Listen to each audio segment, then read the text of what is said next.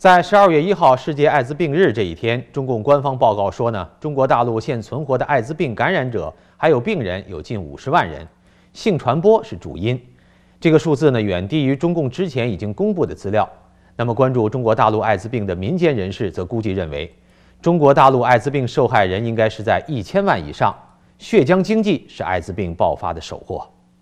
日前，中共国家卫生计生委副主任王国强声称，中国大陆自1985年发现第一例艾滋病病人以来，截至今年十月底，报告现存活的艾滋病感染者和病人已达49.7万例，死亡15.4万例。卫计委还统计说，2013年艾滋病发病数为4.2万人，死亡为1.1万人。二零一四年一月至十月，艾滋病发病数达到三点七万人，死亡数达到九千七百四十六人。其实，早在二零零二年，联合国艾滋病规划处的统计报告显示，在二零零一年底，中国大陆感染艾滋病的人数大约在八十到一百五十万人之间。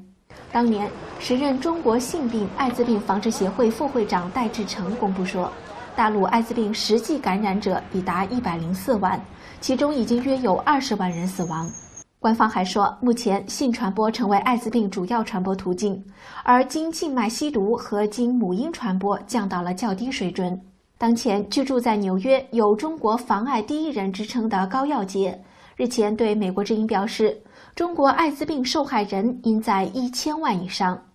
高耀杰指出，由于艾滋病潜伏期可长达十至十五年。给了当局继续掩盖艾滋病毒血浆恶果带来了方便之机。他认为，整个中国的艾滋病主要是通过血浆经济传播的，献血输血是感染艾滋病的重要途径。血祸在大陆各省份普遍存在，责任都在地方政府。高耀杰是河南中医院退休教授，他在一九九六年偶然接触到一位因输血感染艾滋病的妇女后，从此走上防艾之路。十年间，他走访了一百多个艾滋病村庄，见过数千名艾滋病人，自费印刷了上百万份防艾资料。他还曾多次自费前往一些地下黑血站调查。九几年那时候是百分之九十的全部是输血感染的，现在来说感染的就是大学生、小孩子嘛，母婴传播嘛，但是他们不承认嘛，就是把性传播、吸毒放在第一、第二。河南艾滋病维权人士王秋云从今年十月起被警方软禁在家中，禁止他对外揭露河南艾滋病大流行的真相。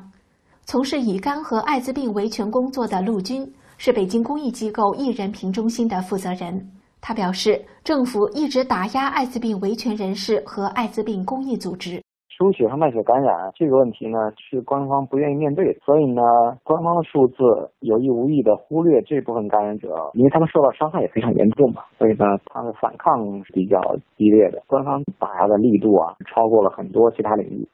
其实，之前每当高耀杰到农村探访艾滋病患者时，常常被地方政府以保护国家机密为借口驱逐他，他还多次被软禁家中，不让外界接触。高耀杰的女儿也因母亲受到地方政府和工作单位的敌视和压制，最终失去工作。另一位同样热衷于防艾工作的是中共卫生部原中国健康教育研究所所长陈秉忠。他在2013年初想拜访感染艾滋病毒并造成600村民死亡的艾滋病村时，就被四辆警车包围并截停。此后，陈敏忠向中共政治局、人大、最高法院和最高检察院发出公开信称，河南当局掩盖疫情，导致至少三十万人感染艾滋病，至少十万人死亡。河南产生了几百到上千个艾滋病村，几十万艾滋病感染者和死者家属因得不到国家赔偿，投诉无门，在死亡线上挣扎。今年九月，从事艾滋病防治和关怀活动的民间团体。北京爱之行研究所发表声明，谴责河南省郑州公安部门招募和胁迫公益组织人士担任线人的行为，抗议他们因为揭露河南血液污染导致艾滋病流行，以及帮助受害病人维权而受到河南省有关部门打压、迫害，甚至被拘捕等。由此看来，大陆的艾滋病真相还远未揭开。